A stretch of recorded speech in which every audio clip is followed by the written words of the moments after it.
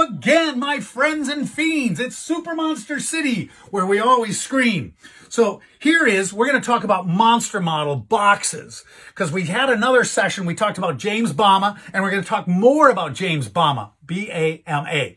He did most of the monster model boxes, but because I always loved this little independent sort of outlier line of monsters, this was the green ghoul from Lindberg models, and it was a really simple model, but nobody else seemed to have them. I know you've got some out there. Take a picture, Facebook to us on Super Monster City. We also got a YouTube channel. So that's the green thingamabob. Now in the model box, oh, by the way, there's like it says, spacemen right there. Now that would have been my father sorting spacemen and using this box as a container like 40 or 50 years ago. So that always brings a smile to my evil lips. Oh, wait, but look, there's a Monkees card box. Remember the Monkees TV show? That happened to sneak into the model box. So this is a voyage of self-discovery without a rudder, without a script, without a plan. Off we go over the edge of the world.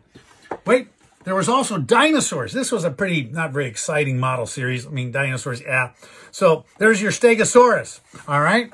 But wait, here's Captain America, not by James Bama. And there's something else in there. Oh, my goodness.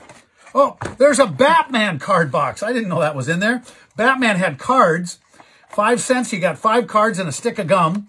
This is from the big Batman craze. Oh my God, it was a beautiful set of cards. We'll keep that out because that goes somewhere else later. Captain America, on the other hand, was an Aurora model splashing through the mud. This came out in the 60s when there was a silver age of comics and there was Marvel superheroes on TV. There was this really cool cartoon show that was syndicated. Put that over there. And then here's King Kong with Fay Wray in his hand. The Phantom of the Opera, always one of my favorites. This isn't quite the story of the model. In the model, the little prisoner is down at his feet, and I was always wondering, who was that guy? What was his story? Oh my God, Phantom of the Opera. There's a Godzilla thing. These I cut out as a kid. Forgive me. I cut them out and put them on my wall. Sad to say, but I still got that part at least. More James Bama. James Bama Dracula, Bela Lugosi. How can you not fail to love that toy? Oh my God.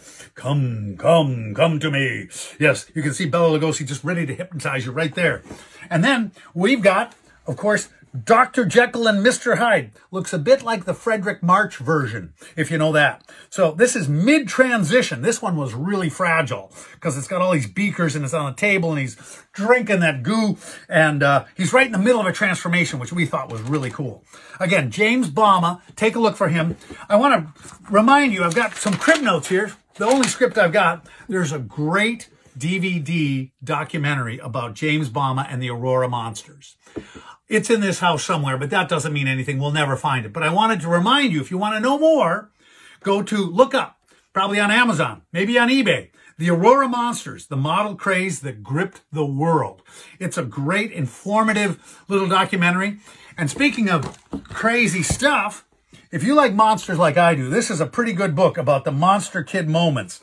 It's got all the cool stuff Monster Old Maid.